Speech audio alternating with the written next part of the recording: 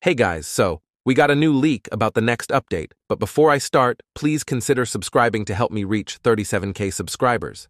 But anyway, we got a new leak from the owner about the last move which looks crazy, and it doesn't look like a counter and more like a tornado type of move. This could be a combo extender, hopefully. But yay, move looks crazy, and I can't wait to see it in game. But let me know what you guys think, and next we have a new badge which is called Owner Approved. So if your suggestion gets approved and in-game, you receive a special title of a star in-game. And it's only 300 players that get it from what I heard. But yeah, that's all. Thanks for watching.